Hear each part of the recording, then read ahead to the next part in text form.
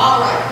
Well, I want you to imagine today we are in the waiting room. Now, waiting is not a wonderful thing, is it? What if, let's start with if we're waiting for something good to happen. How fast does time go when we're waiting for something good to happen? Slow. What might we be waiting for? A vacation?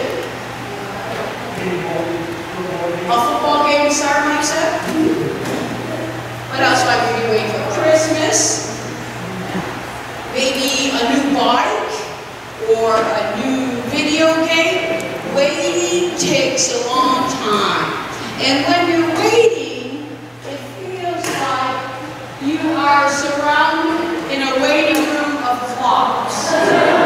Talking, tick, talking, tick, talking. Have you ever waited for your food to heat up on the microwave? Is one minute the longest minute ever? When you are waiting for that microwave to tick down? A waiting is very hard when you're waiting for something good. Now, in our scripture today, they are all in a waiting pattern, but not in a waiting for, they know something good's going to happen, but they're not happy right now while they're waiting. I have some things here. Everybody, what does that say, Camille? Pain. What does this say? Sadness. Where they are waiting, where Paul has sent them a letter, they all are feeling pain and sadness. So do you think the waiting is even longer when you're in pain or you're very sad? Do you think the time takes even slower? I think even slower than when you're waiting for something good. Let's say you have a cast on your arm and you're waiting for that to heal and you feel some pain and it's kind of itchy. It seems forever in that waiting room while you are waiting for that to heal. The waiting room can be pretty lonely too. And that was what Paul was saying to people. Be encouraged because guess what? You're not waiting alone. And what waits for them is on the other side. And on the other side, what's going to replace that pain and that sadness is, we'll start from this side.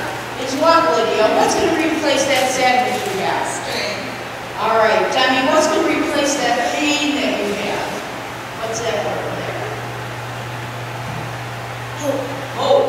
Hope is going to replace that sadness, Mike, with strength. And strength for you, Luke. And strength for Riley. And hope for Otto. And hope for Camille. Oh, you got two. Well, double hope is even better.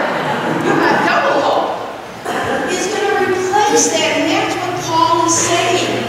It's going to be replaced because what he says in the letter is that though the waiting may be hard, what waits on the other side, good things for all creation. God is about to take you to places that no man can get to or can get in the way of. Get ready. God has so many great things in store for you. And if we sum up his letter, that's what he said. There is so much waiting for you. That sadness and that pain will be put aside, and hope and strength will be replaced. Dear God, you have made a creation that is full of hope and full of strength. Help us to replace those parts where we feel the sadness and the pain and our creation feels the sadness and the pain with those words that you have given to us of hope and strength. Amen.